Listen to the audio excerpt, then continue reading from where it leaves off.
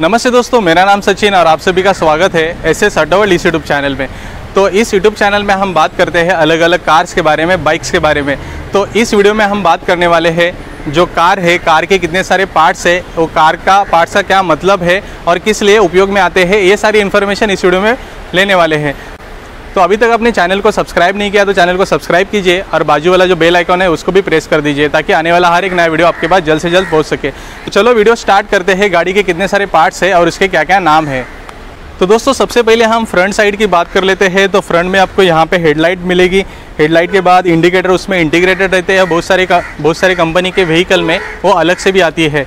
तो हेडलाइट आपको पता है कि उजाला देना मतलब प्रकाश देना, इसके बाद इंडिकेटर का काम है मतलब लेफ़्ट और राइट, उसकी साइड देना। इसके बाद यहाँ पे आपको ग्रिल है।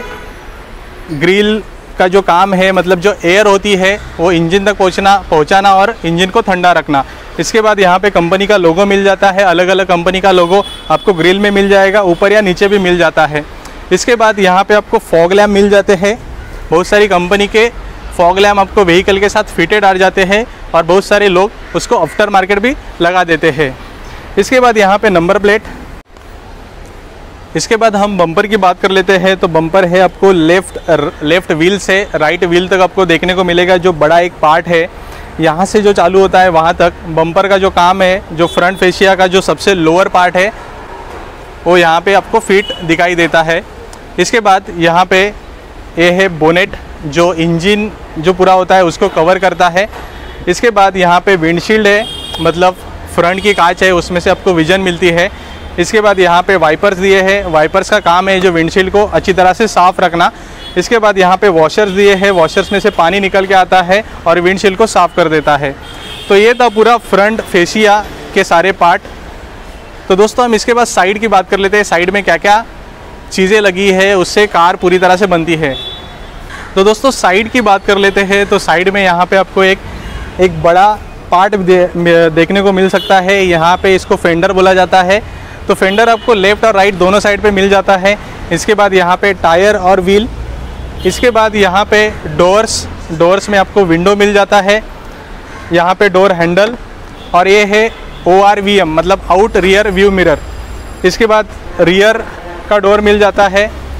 और स्ट्रक्चर में सबसे बड़ी बात है कि ए पिलर बी पिलर और सी पिलर ये पूरे पिलर के ऊपर ये गाड़ी का जो छत है, पूरा रेस्ट हुआ है।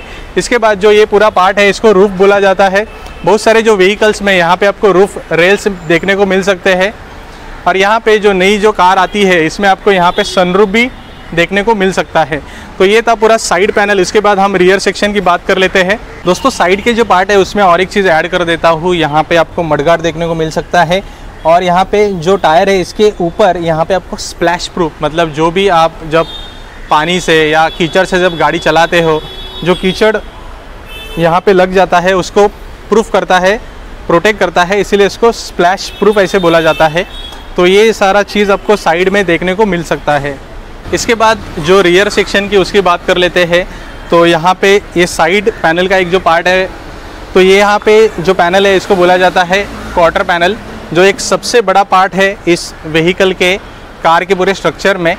इसके बाद यहाँ पे आपको बम्पर मिल जाता है। ये भी एक बड़ा पार्ट है कार में।